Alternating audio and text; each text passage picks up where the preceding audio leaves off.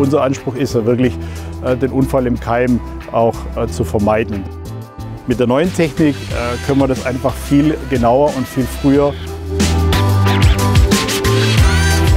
Dementsprechend gehen wir immer über das reine warnende oder informierende System wirklich ein aktives System hinein, das auch in die Bremse und in die Lenkung eingreift, dort wo es wirklich kritisch wird und der Fahrer vielleicht mal eine Millisekunde zu spät reagiert. Wir als Daimler Truck sind ja schon immer Vorreiter bei den Themen Fahrerassistenz und haben in der Vergangenheit ähm, die Funktionen, die heute gesetzlich reguliert werden, ja schon in unseren LKWs gehabt.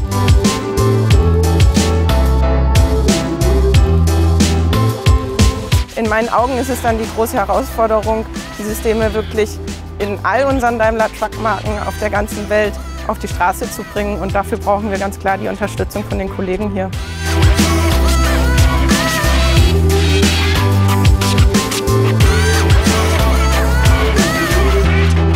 Auf der Teststrecke testen wir unsere Systeme im physikalischen Grenzbereich, um so zu bewerten und maximale Sicherheit für unsere Kunden darstellen zu können. Auch Softwareanpassungen passieren hier direkt vor Ort, können direkt wieder raus auf die Strecke, können direkt wieder testen.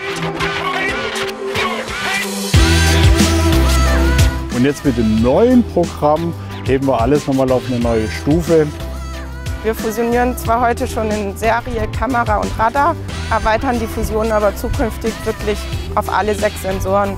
Und ermöglichen damit zum ersten Mal eine komplette Rundumsicht mit 270 Grad Umgebungserkennung.